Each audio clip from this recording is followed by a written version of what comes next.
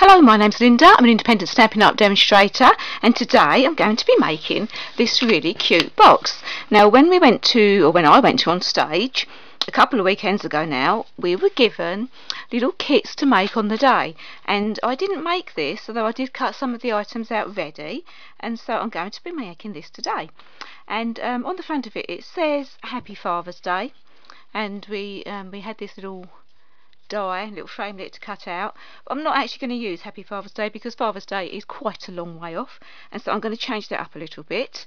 And um, I've actually got the stamp set which I've just lost and here it is. So I ordered this on my pre-order. If you go to on stage you get to pre-order from the new catalogue. And so I ordered this one because the ladies in my card class always want to make cards for men and this is perfect for a card for, for a man and um, these are the new cling stamps um, are they called cling stamps what are they called Yep, they're called cling stamps. And I'm just going to show you, um, while I'm doing it, how to stick your label to your rubber stamp. And so I'm going to be um, just pulling one of these out, and this is the ink blot. Let's put that to one side. And then what you do, you you find your ink blot here. Here it is. Wrong way round. And if you see it's got a little um, let's come down a bit. Come in a bit. It's got little um, split on it so you can pull the back off. Okay. And then you get your rubber stamp and you pull the back the protection paper off the back of your stamp. And then you line your stamp up to the hole where your sticky bit is and then it just comes off like that. And there you go. Done. And these as we as you know these are new may not know. They've changed they've changed these. So before they never used to be very sticky. So um, you put you'd put your uh, backing on and it wouldn't stick to your mount very well. But now they have changed them so that they are very very sticky. So you put them on and they really do stick well. In fact they stick so well that they're hard to get off. So when you take them off you have to just peel them up carefully at the side because if, if you just pull them up quickly you could tear the foam. Right so I'm going to be using um, basic grey and I'm bringing in this. This is the box they gave us. Now I need to come out a bit now. This is the box they gave us to decorate. Um, and on the day we, we just had to we, we, didn't do anything to the box but because I'm actually at home now I thought I might stamp on the box to make it um, change it up a little bit. Okay so I just went and got a piece of paper just to protect my table there. And um, as I've not tried this before see what it looks like. Excellent. Okay and so we're going to be putting um, decoration on the front of the box. So I'm just literally going to just stamp around the edges and um, obviously I've not done this before. I don't have one of these boxes so I've not been able to try it out. But why not why not give it a go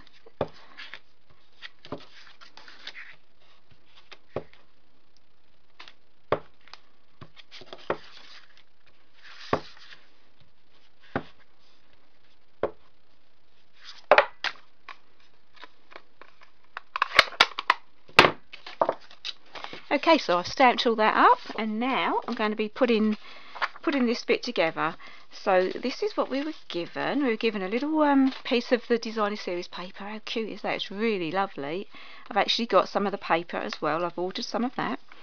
We were given a little strip of this, um, it's like a crushed curry and it, again it's a designer series paper and they come in um, 6 by 6 sheets and then we um, we were able to die cut these. And I've also ordered the framelits. And these are the framelits. Aren't they great? Really good.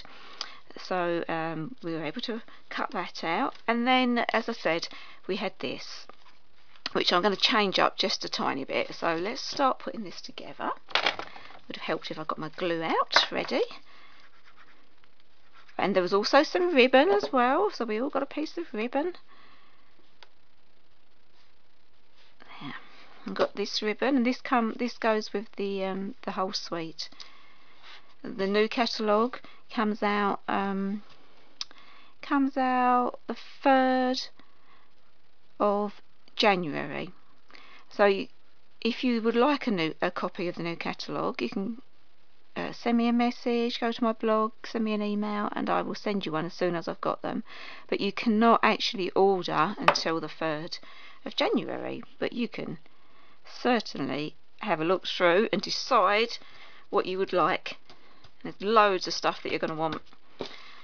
Okay, and then I'm going to put this on here, and what I've done is I've cut out, um, let's come back in a bit. That's better. I've cut out uh, one of the framelits here, which I'm going to put on the top there. So I'm just going to, you know, I think I'm going to use some dimensionals on that.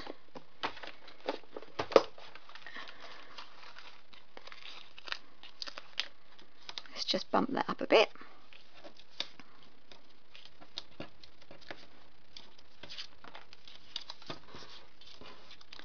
And then I'm going to stick this on here. And where do I need to put the glue? Just around the edges. I should be using my fine tip here. Use my fine tip glue really. I just love this die. Oh, stay, stay where you are. It's so cute.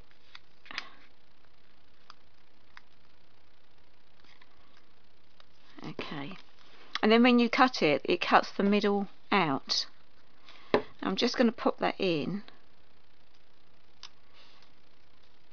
And then what I've done, oh, I'm making a hash of this. That's better.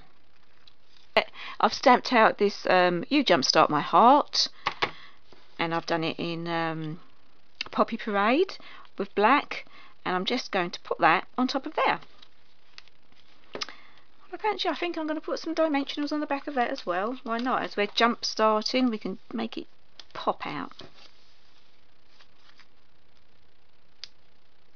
We were given, um, I don't know, four or five little kits to make cards on the day.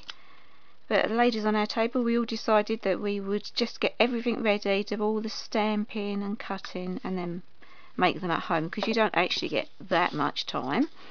Right, and now the ribbon goes across here.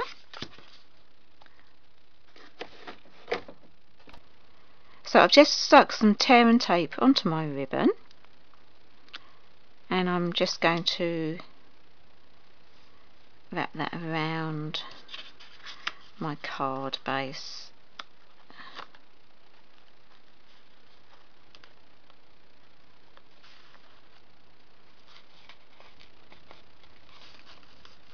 Okay, and then I'm going to put that on top of it and that'll keep it it will keep it in place. You can you could put a little bit of um, glue underneath the middle but because I'm putting this sort of topper on I don't think it needs it. It's going to hold it down.